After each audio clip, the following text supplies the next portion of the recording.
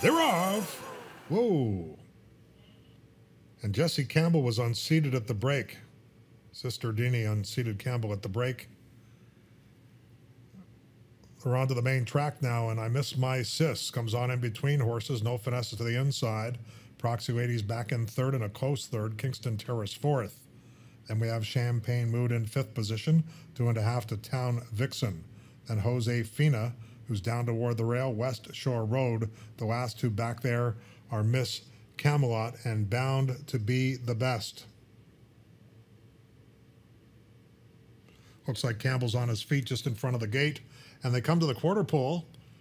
And it's Champagne Mood who leads it by three quarters of a length. And gaining ground now is Kingston Terrace. Kingston Terrace comes on to challenge Champagne Mood as they turn for home. Kingston Terrace has taken the lead. Champagne Mood fights on, but opening up now is Kingston Terrace, and Kingston Terrace is going to score by many. Closing late is West Shore Road, but it's all Kingston Terrace. It's going to be close for place, though, on the inside Champagne Mood, on the outside West Shore Road. In that place photo, Miss Camelot was fourth.